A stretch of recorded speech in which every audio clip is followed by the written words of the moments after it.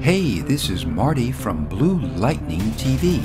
I'm going to show you the quickest way to swap faces and seamlessly blend their skin tones together. You can choose to combine either face to either head.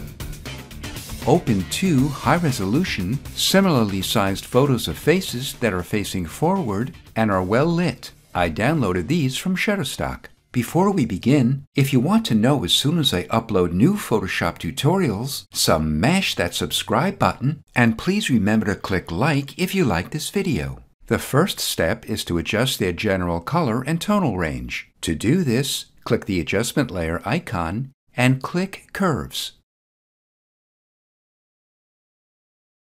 Click Auto, which applies automatic color correction. We'll make a composite snapshot of our image by pressing Ctrl-Alt-Shift-E on Windows or Command-Option-Shift-E on a Mac.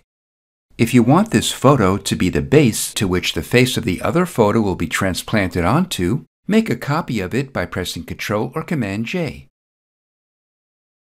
Open your other photo, click the adjustment layer icon, and again click Curves and Auto. Then make a composite snapshot. We'll use the face of this photo to be placed onto the other head. Open your lasso tool and draw around the eyes, nose, and mouth. We'll cut and copy the inside of the selection by pressing Ctrl or Command J. We'll place the cutout face onto the other photo by pressing V to open our Move tool and dragging it onto the tab of the other photo. Without releasing our mouse or pen, drag it down and release. To see the face of the other photo under it, reduce the opacity of the top layer. To resize it, open your Transform tool by pressing Ctrl or Command T. Go to a corner. If you're using CC 2019 or later, press and hold Alt or Option as you drag it in or out. On earlier versions, press and hold Alt or Option plus Shift as you drag it. Position it so the eyes line up. Then press Enter or Return, or click the check mark at the top. Increase its opacity back to 100%. Control or Command click the cutout face to select its shape. Go to Select, Modify, and Contract. I'll contract it 20 pixels, but feel free to adjust the amount based on your photo's size and resolution. Type in an amount that contracts it approximately this much. Make the photo under the cutout face active and press the Delete key to delete the area of the face inside the selection. Deselect it by pressing Ctrl or Command D. Shift-click the top layer to make it active as well, and go to Edit and auto blend layers. Tick Stack Images since the two layers we're merging are aligned and stacked on top of each other in the Layers panel. Check Seamless Tones and Colors, as well as Content-Aware Fill Transparent Areas. If you see this message, just click OK. Auto Blend applied layer masks to both layers to mask out over or underexposed areas. Lastly, we'll finesse our image's tones, contrast, and color to blend the face and head even more.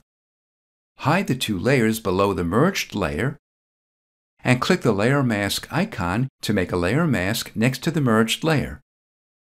Open your Brush tool and Brush Picker. Pick a soft, round brush. We'll adjust its size in a moment. The hardness is 0% and the opacity and flow are 100%.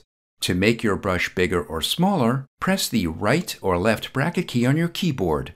I'll brush over this area to reveal the shadow just to the left of the hair.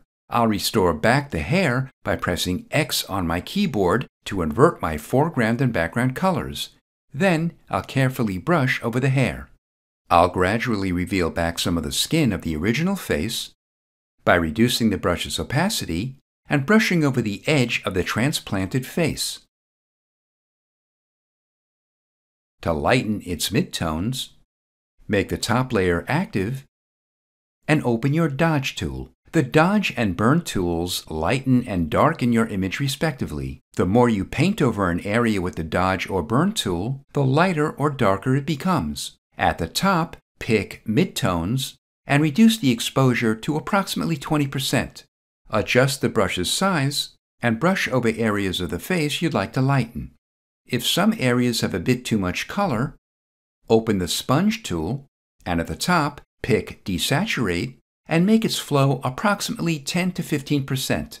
Brush over those areas that may have a bit too much color to desaturate them. This is Marty from Blue Lightning TV. Thanks for watching.